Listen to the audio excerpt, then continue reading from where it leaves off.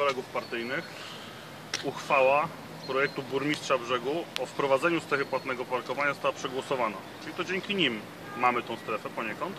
Pytanie, czy pan Wrębiak ma takie moralne prawo, żeby teraz na potrzeby kampanii wyborczej mówić, że ją zlikwiduje, tak?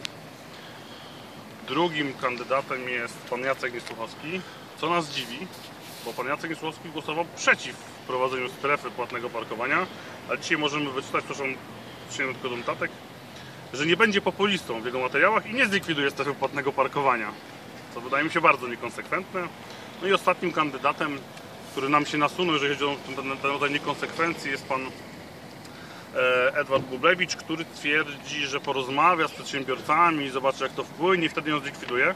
A przypomnijmy, że on dokładnie dwa lata temu zagłosował za tą uchwałą projektu burmistrza brzegu za wprowadzeniem tej strefy płatnego parkowania. Nasz pan kandydat, pan Grzegorz Surdyka, głosował przeciw, jest konsekwentny i jeżeli tylko nam się uda te wybory wygrać, pierwszą rzeczą, którą będzie, zlikwiduje strefę płatnego parkowania. Oddaję głos naszemu kandydatowi Grzegorzowi Surdyce.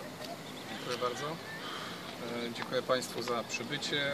Szanowni Państwo, chcielibyśmy dzisiaj w kilku słowach przedstawić e, Państwu nasz pogląd na funkcjonowanie strefy płatnego parkowania brzegu. Materiały, które mamy ze sobą przygotowane, rozdamy Państwu, będziecie mogli je później wykorzystać. Otóż wprowadzenie strefy płatnego parkowania w brzegu było błędem. Było błędem. Przedstawimy kilka faktów. Strefa płatnego parkowania pozbawia mieszkańców miasta w skali roku około 500 tysięcy złotych. Około 500 tysięcy złotych. Są to